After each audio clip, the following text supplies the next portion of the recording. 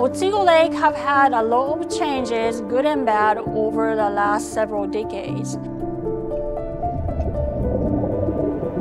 It matters that the water that we release from the Otsego Lake is as clean as possible so that the downstream communities can rely on that. In order to effectively manage lakes and watershed, we need to have good data. We cannot just speculate based on what happened in the past or what is happening in other lakes. We would like to preserve the lake so that the local community can keep enjoying the lake. And I also would like to keep studying the lake.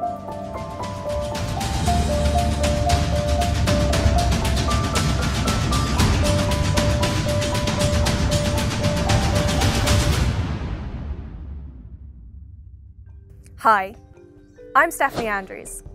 Climate scientist. Ocean adventurer. And system specialist at NexSens.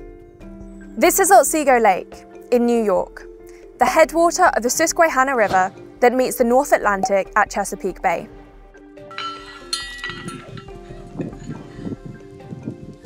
The lake has had a colourful history. Harmless algae painted the lake a moderate green until invasive zebra mussels became established around 2010. These mussels are filter feeders, meaning they consume suspended particles like algae, leading to increased water clarity. In 2022, the lake suffered its first bloom of cyanobacteria. These blooms can be indicators of water quality issues, fueled by problems like runoff events and invasive species. But the exact cause of the 2022 bloom remains a mystery.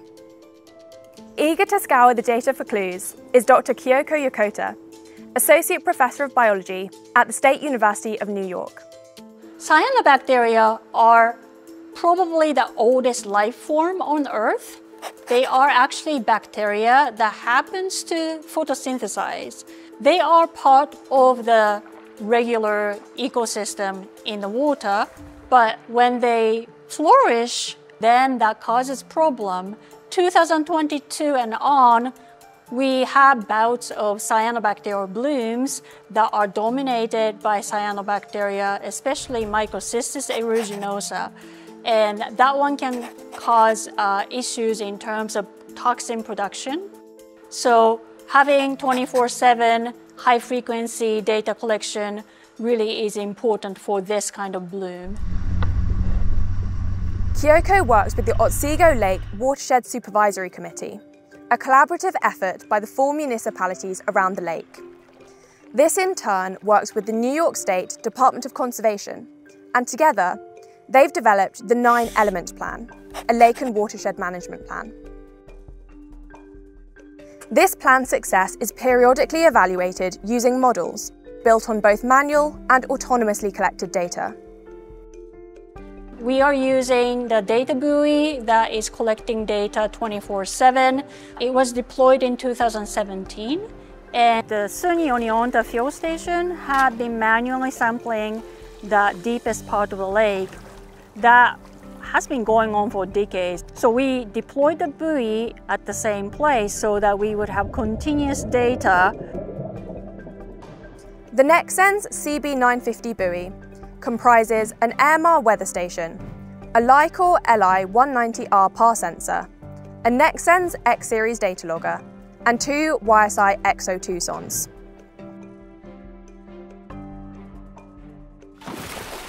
All sondes measure temperature, conductivity, dissolved oxygen, and pH, and are deployed throughout the water column to take measurements at different depths.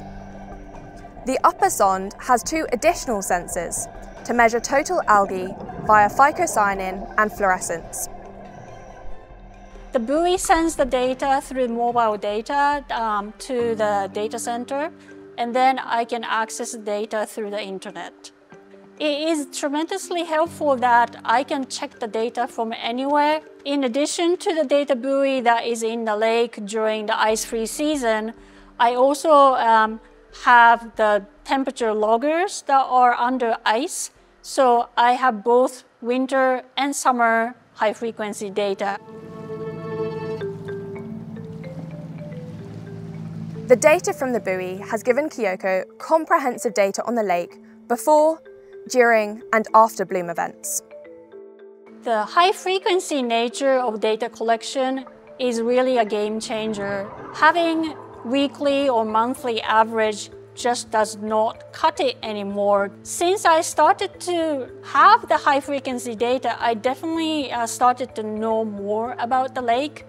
It's been very interesting to see what happens at night because that's the kind of data that we would never really get to see. And also when the weather is rough, but the buoy is still collecting data and we can see how, for example, thermocline starts to disappear in late fall when we have storms. Through a combination of methods, Kiyoko's research is shedding light on Otsego Lake's subsurface secrets. And the science extends far beyond this 4,000 acre lake. Kiyoko's lab is part of GLEON, the Global Lake Ecological Observatory Network, meaning the data that's acquired here is shared internationally, supporting the sustainable management of lakes and reservoirs worldwide. We do a lot of studies where we gather data from multiple lakes so that we can decipher what kind of underlying process could be going on that is common to different lakes. Having the high frequency data really helps our data to be useful in that kind of network study because many other lakes collect data in a very similar way with their data buoys. I am very positive that we are in the right direction to work as a community to improve the water quality into the future. However, there are a lot of um, science that needs to be done to achieve that goal. Otsego Lake is one of many in the Great Lakes region and worldwide that's grappling with new and pre-existing challenges of invasive species, cyanobacteria blooms, and anthropogenic change. With better data, Kiyoko is supporting the sustainable management of this valuable resource, benefiting the wildlife that call it home and the many visitors who come to enjoy its natural beauty. Visit nexsens.com for more information. NexSens. Better data. It's never been easier.